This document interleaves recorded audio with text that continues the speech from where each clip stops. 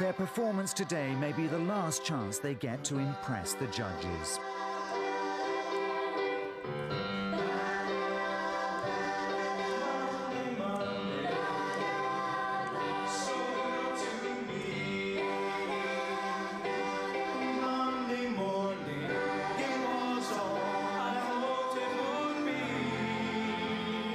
I know who I want in the 10.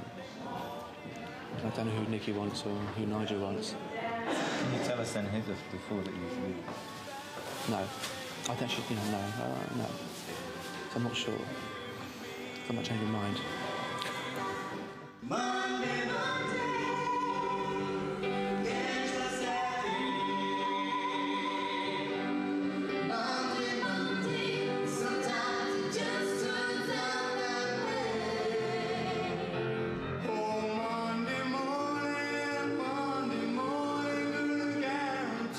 The pressure is becoming unbearable for some of the hopefuls. I would think I might be going today.